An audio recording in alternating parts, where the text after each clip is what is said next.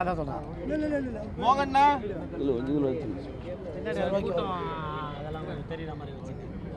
கூட்டம் வருங்க லட்சம் வரும் பிள்ளை வரும்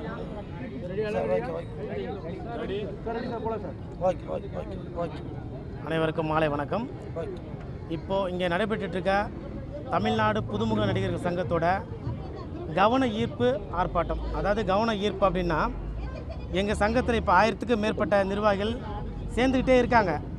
இது புதுமுகம் அப்படின்னா இன்றைக்கி நடிக்க வர்றவங்களுக்காக மட்டுமல்ல என்னைக்கு நாங்கள் நடித்து ஒரு படம் பெரிய ஃபெமிலியர் ஆகுதோ அது வரைக்கும் நாங்கள் புதுமுகம் தான். இன்றைக்கி எவ்வளோ பேருக்கு தெரியும் சிவகார்த்தி சாரை ஆனால் அவர் ஒரு படம் ஃபெமிலியர் ஆனதுக்கப்புறம் தான் அவர் ஒரு பெரிய லெவலில் வந்திருக்காரு. அந்த மாதிரி ஒவ்வொரு புதுமுகமும் இன்றைக்கி இருக்கிற சூழ்நிலை இன்றைக்கி இருக்க காலகட்டத்தில் புதுமுகம் நிறைய பேர் உள்ளே வராங்க. ஆனால் அவங்க எந்த ஒரு சங்கத்தையும் ஒன்றியே இல்லை. ஏன்னா இதனால் நமக்கு என்ன வருது இதனால் எனக்கு நமக்கு என்ன பயன் அப்படின்னு எல்லாம் ஒதுங்கி போயிடுறாங்க. அது ஒரு பக்கம் இருக்க இப்போது ஒரு மிகப்பெரிய படங்கள் பெரிய பட்ஜெட் படங்கள் வந்து ரஜினி சார் படமாக இருக்கட்டும் கமலஹாசன் சார் படம் படமாக இருக்கட்டும் அங்கே வந்து ஒரு சாங்க்கு ஐநூறு பேர் ஆயிரம் பேர் வச்சு வேலை வாங்குறாங்க. அப்படி வேலை வாங்கும் போது எங்களுடைய சகோதர சகோதரிகள் தான் நடிகர் சங்கத்தில் இருக்கிறாங்க ஜூனியர் ஆர்டிஸ்டில் இருக்கிறாங்க. அவங்க ஜூனியர் ஆர்டிஸ்ட்லேருந்து ஒரு நூறு பேர் நடிகர் சங்கத்துலேருந்து ஒரு நூறு பேர் மீதி முந்நூறு பேர் எந்த சங்கத்தையும் சாராத நடிகர்களை போட்டு அவங்களுக்கு மிக குறைந்த ஊதியம் அதாவது நாங்கள் என்ன வாங்குகிறோமோ அந்த தமிழ்நாடு புதுமுக நடிகர் சங்கம் எந்த ஊதியம் ஃபிக்ஸ் பண்ணி வாங்குறோமோ அந்த ஊதியம் ஊதியம் தான் அந்த நான் மெம்பர்ஸ் கொடுக்குறாங்க. எங்களுக்கு என்ன கோரிக்கைன்னா அந்த நான் மெம்பர்ஸ் இன்றைக்கி வந்து வாங்கிட்டு மூணு வேளை சாப்பிட்டுட்டு அந்த கொடுக்குற முந்நூறுவா நானூறுரூவா வாங்கிட்டு போயிடுறாங்க. அவங்களுக்கு எந்த பற்றுமே இல்லை. இந்த சினிமா துறையில் எந்த பற்றுமே இல்லை. ஒரு உணர்வு கிடையாது. இன்றைக்கி அதே உணர்வோடு அதே பற்றோட இன்றைக்கி உட்காந்துருக்க அத்தனை புதுமுக நடிகர்களுக்கும் தயாரிப்பாளர் சங்கத்துக்கு உறுதுணையாக இருக்கிறோம். அப்படின்னு பார்த்தீங்கன்னா ஒரு சின்ன பட்ஜெட் ஒரு கோடி ரூபா கொடுத்து ஒரு பட்ஜெட் படம் எடுக்கிறாங்கன்னா அவங்க எங்களை வச்சு நடிப்புகள் அத்தனையும் யூஸ் பண்ணும்போது அவங்களுக்கு ஓவரால் பத்து லட்ச ரூபா கம்மியாக கிடைக்கும். அதாவது ஒரு ஒரு கோடி ரூபா பண்ண பட்சத்தில் தொண்ணூறு லட்ச ரூபாவில் முடிக்கக்கூடிய வேலைவாய்ப்பு எங்களை வச்சு எடுத்தாங்கன்னா நடக்கும். ஆனால் இவங்க அதை பண்ணாமல் எங்கள் சங்கத்தில் இருக்க ஆளுங்க போய் ஒரு படம் அதாவது நீங்கள் வந்து எங்களுக்கு வேலைவாய்ப்பு கொடுக்கணும்னு சொல்ல நாங்கள் போய் கேட்டு ஒரு தயாரிப்பாளர் அப்ரோச் பண்ணி எங்கள் சங்கத்தில் இருக்கவங்க வேலை கொடுங்க அப்படின்னு கேட்கும்போது நீங்கள் ஃபோன் பண்ணி அவங்களுக்கு வேலை கொடுக்க வேணாம்னு சொல்ல வேணாம். சொல்லாதீங்க. அவங்க எங்களுக்கு வேலை கொடுப்பாங்க நாங்களுக்கு வேலை பண்ண தெரியும்.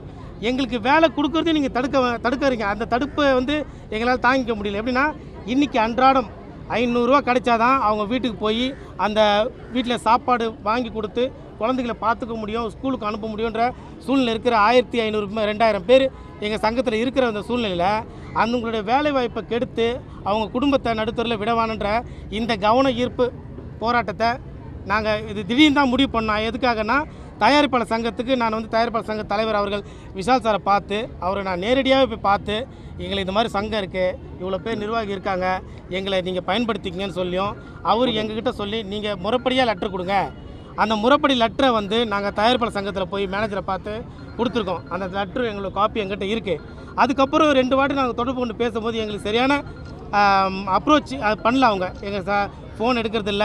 நேராக போய் பார்த்தாலும் எங்களை பார்க்குறதான அனுமதிக்கும் தரதில்லை.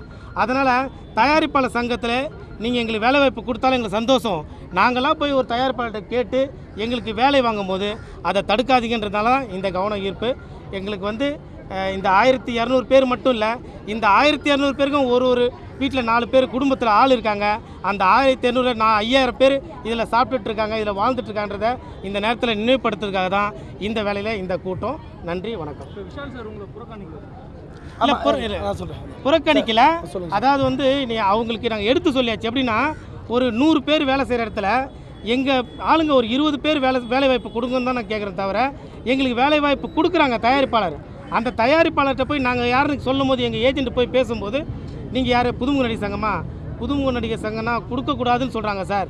அப்படின்னு அந்த தயாரிப்பாளருடைய ச சப்போர்ட் மேனேஜர் நம்மகிட்ட சொல்லும்போது எங்கள் அங்கனால வேலை அங்கே வேலை மறுக்கப்படுது.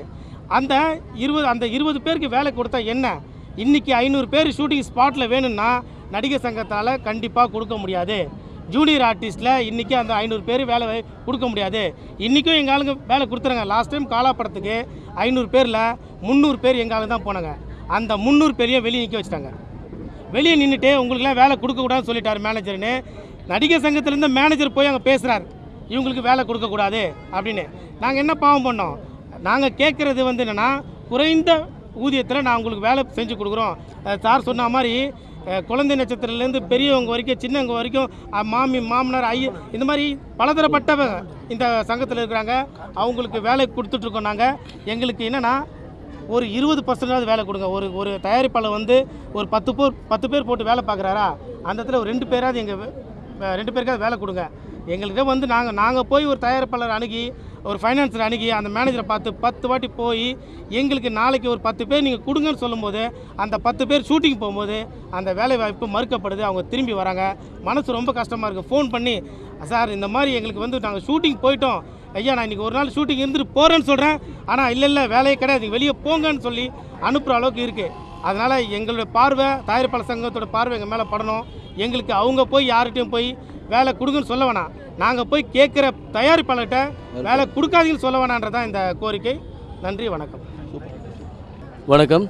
என்னுடைய பேர் மதன். இந்த சங்கத்தில் மிகச்சிறப்பான விஷயங்கள் நடந்துகிட்ருக்கு இதுக்கு ஆதரவு கொடுக்கறதுக்காக வந்திருக்கேன். நானும் ஒரு புது ப்ரொடியூசர் தான்.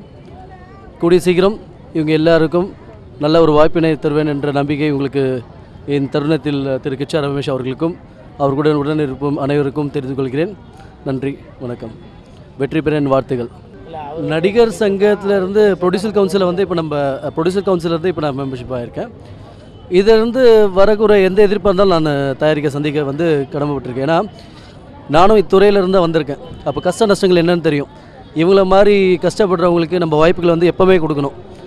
வளர்ந்து வர ஆல்ரெடி வளர்ந்துருக்க நடிகர்களுக்கு நம்ம வந்து கை கொடுக்கறதோட விட வளர போகிற இந்த மாதிரி திறமையான நடிகர்களுக்கு நம்ம வந்து எப்போவுமே வந்து உறுதுணையாக இருக்கணுன்றது என்னுடைய நம்பிக்கை. அதை நான் செய்வேன்ற இந்த நேரத்தில் சொல்லிக்கிறேன் நான். நன்றி. நன்றி வணக்கம்.